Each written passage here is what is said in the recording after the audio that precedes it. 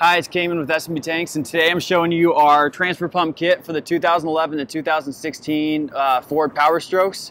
Um, we have this for the 11 to 16 as well as the 17 and up Ford trucks. And the benefit of this um, pump kit is it allows you to pull fuel out of your S&B tank so you don't have to take up any extra bed space, especially if you have a crew cab short bed truck. You know your bed space is valuable. Um, so the way it works is here's the pump. It's mounted to the bed bracket on, on, your, uh, on your truck. Um, so no drilling. All you do is just you take out the bolts that was mounted um, to the bracket, then you remount it with our, um, our bracket.